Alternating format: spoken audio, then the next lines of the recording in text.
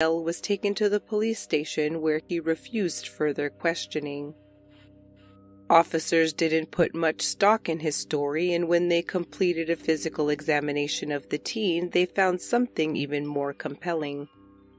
Behind an ear was a spot of blood that would later be determined to belong to Bryan Walker. Then, in January of 2020, Raphael Angel Vargas took a plea deal, pleading guilty to first degree murder in the death of Bryan Walker.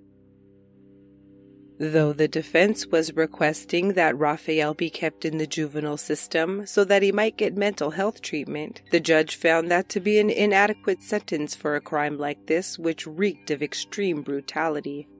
The fact that Raphael had told a probation officer during his pre sentence interview that he'd purposely befriended his elderly neighbor so he could get into his house and rob him contributed as well to the judge's decision not to sentence the teen to juvenile detention.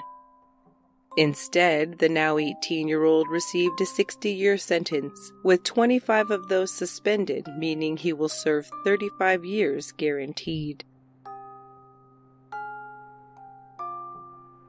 As always, thanks for listening, and until next time, lovelies, don't be scared.